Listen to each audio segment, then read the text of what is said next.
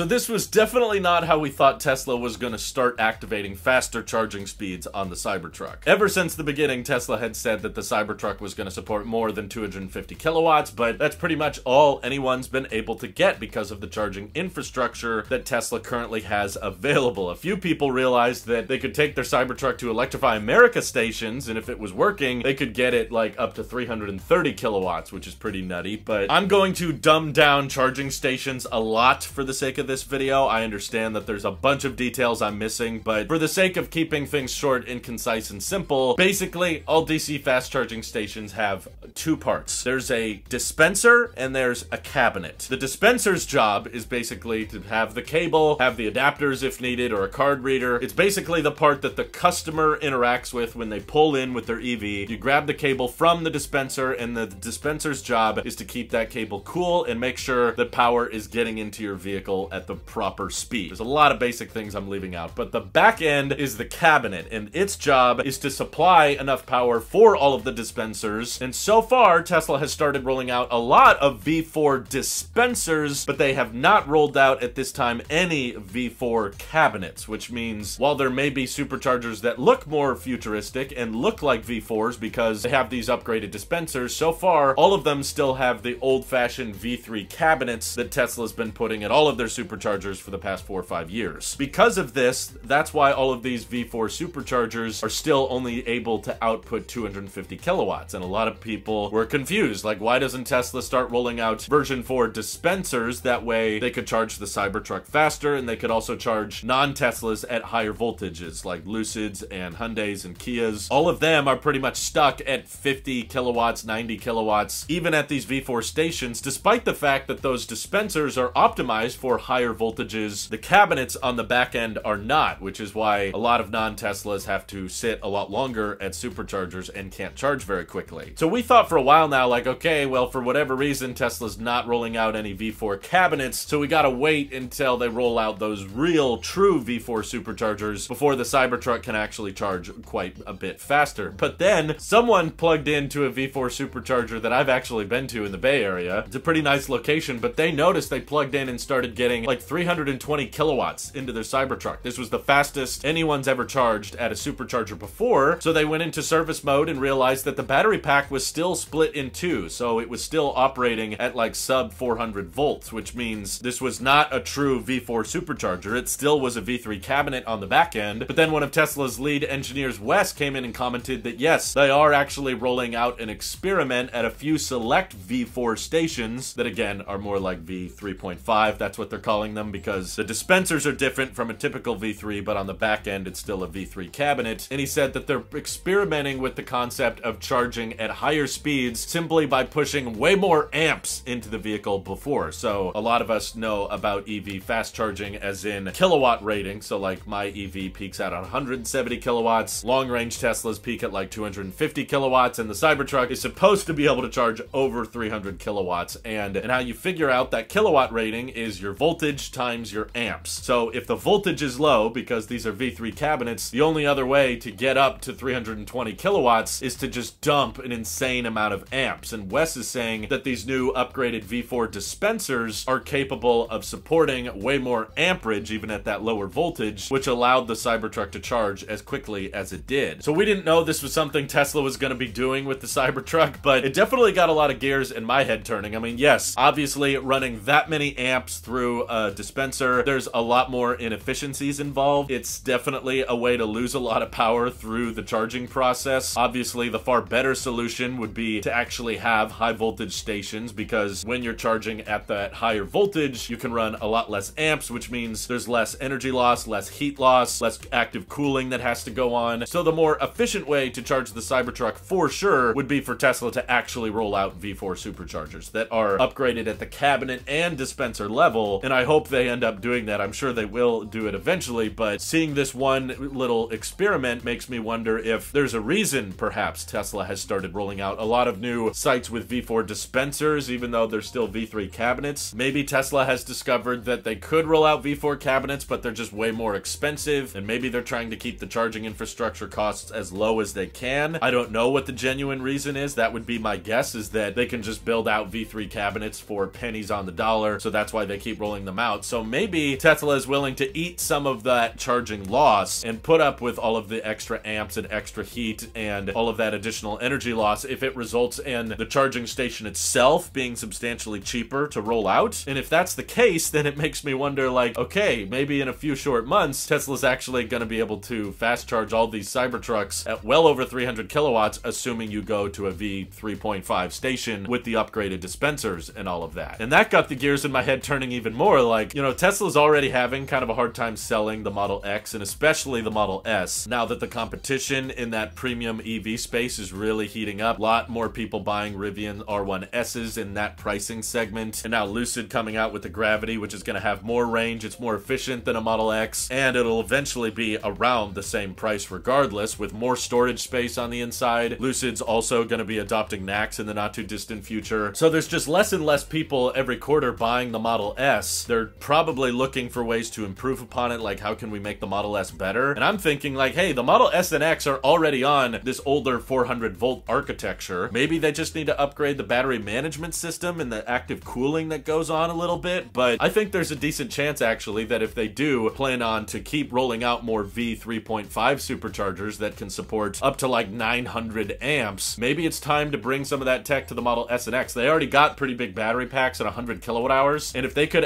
access these V4 dispensers and start charging the Model S at like 320, 330 kilowatts, that would actually give some people a better reason to opt for the Model S over the Model 3. Because right now, the Model 3 has just gotten so good with the ambient lighting, the new performance upgrade. It's got the ventilated seats, the rear mounted display, all that great acceleration and the upgraded suspension and all that. There's so few reasons for people to pay double for a sedan simply for, you know, the hatchback and slightly more range, but really not a lot. We're talking 360 miles of range on the cheapest Model 3 available after the tax credit versus 400 miles of range. So only 40 miles further for, I guess, all-wheel drive, quicker acceleration, and a hatchback. It's a great car, don't get me wrong. I love the Model S, but it's definitely having a hard time justifying its market right now. And I think it could benefit a lot from a big range boost. Maybe that means stuffing some more cells in there. And if you can't do a range boost, then maybe taking advantage of all of these new V4 dispensers that are still technically outputting at the lower voltage architecture, which we know the Model S and X are already optimized for, you could start seeing some normal Teslas like sedans and crossovers exceeding 300 kilowatts, which would be really fun and exciting because it could substantially reduce the amount of time it takes to road trip in an EV. And also important to keep in mind from what we learned at the Cybertruck's charging session, even though yes, it's the fastest supercharging session yet at 320 kilowatts, you can see right there on the display that that still only translates in an inefficient vehicle like the Cybertruck to like